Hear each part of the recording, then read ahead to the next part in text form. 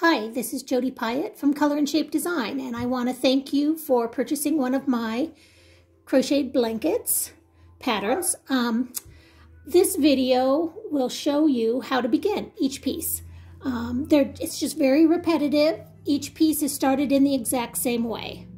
So I'm going to just start with a small little corner piece. And so the pattern calls for chaining 17. So I'm going to chain 17.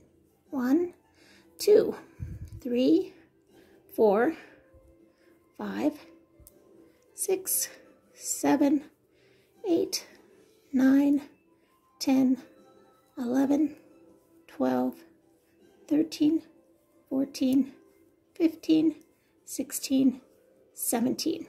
Okay, so there's my starting chain. Then the pattern states single crochet in the third stitch or the third chain from your hook. So what that means is if this, this, here, let me take that out. So this is one, this is two, and this one here is three. So let me put that back. So it's, you can see that it's one, two, and this is three. I'm to go right into that stitch right there and I'm going to single crochet. Okay, and then I'm going to mark this corner, this little piece right here. I do that. I'm going to undo this again and show you kind of how you can mark that in an easy way. You can use a stitch marker. I use just an extra piece of contrasting color yarn and I just kind of place it there and then I do that same thing. I count one, two, you want to go right here to three, three. Okay, and then what that does is that marks your corner. And so that'll be helpful later. So just leave it alone and the pattern calls for single crochets to the end of the row. So let's just do that. Let's just single crochet all the way.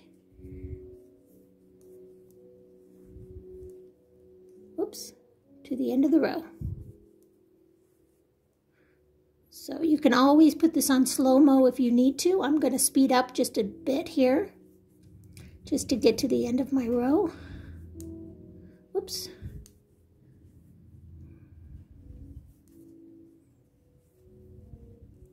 That happens.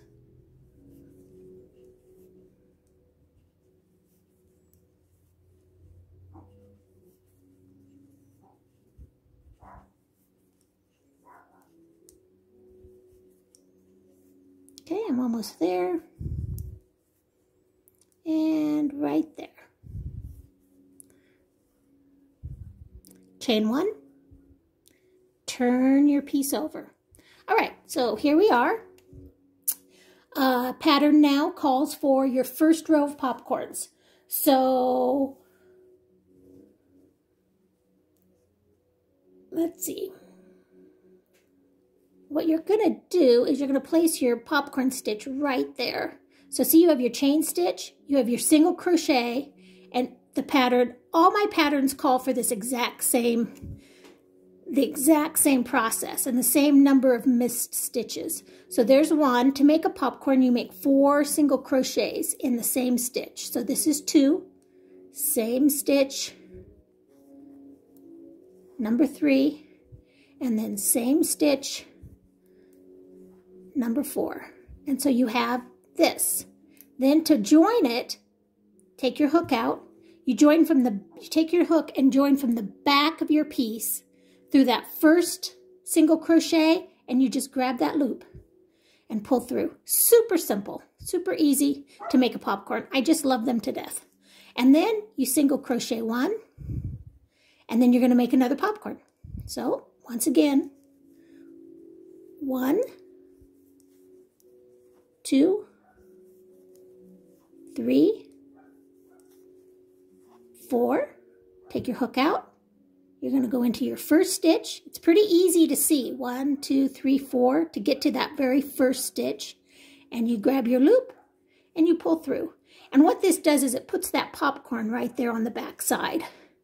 Um, if you're a left-handed person, um, you need to do the exact opposite of this. I'll show you in this next stitch. One, two, three, whoops, did that wrong. One, two, three, and a four. If you're, if you're left-handed, you'll go from the front and then kind of pull that stitch over like that and pull through. And that kind of puts the stitch on the front like that. And that's for, that's for lefties. So I'm right-handed. So that is, doesn't feel good when I do it because I'm, I'm, I'm right-handed. Uh, but if you're lefty, that's the only change you have to make to the pattern. So let's see, one, two, three, four. Here's your popcorn. Go to the back, grab your loop, pull through. Simple. Single crochet. And then popcorn. And you just keep doing this. Popcorn, single crochet, all the way till you get to the end of your row. So let's just do that real quickly here. I'm going to speed up a little bit. Um, you can slow-mo the video if you need to, or you can fast forward till we get to the end. Because the end of this row is where I think most people kind of struggle a little bit if they're new to crochet. So in just a minute, I'm going to show you that. It's, it's very simple solution if you've been struggling with it. So that's really the main purpose I'm doing this video because I don't like teach crochet or anything like that. But it's really just to show this final piece right here. So here's my final popcorn for this row. That's two, three, and four. Okay, and I'm going to go from behind and grab. Okay, and then here I am at the end of my row. And I think what people see is they feel like you always have to put two more stitches. And they look at that and they think they don't have room. There's only one stitch there. But that's why I had you do this stitch marker. This is actually your corner over here. It, it Because you did a chain, it doesn't look like a normal stitch, but it really is. So the pattern calls for two, after your last popcorn, to do two single crochets. So you're going to do one here. And then you're going to put one right here where that stitch marker is. Oops, I'm not grabbing it right, right there. See how there's two loops there? That's actually your chain stitch that you made at the end, and then you turned to make the row. So it leaves just this little tiny hole. It's a little bit difficult to get into sometimes. This is the only time you're going to have this trouble. Once you get these rows started, this, this problem disappears and, and you won't have to deal with that again. It's just that very first corner that can be problematic for people. Okay, and so then you chain one, turn your piece over, and this is what you've got, a nice pretty row of popcorns. And now single crochet, and again, one, two, that's, that's your chain stitch. This is your single crochet, and then you're always going to go in this third stitch. So right there, single crochet. After you do it a couple of times, it just becomes second nature and you won't even think about it. And you're just going to single crochet all the way back again.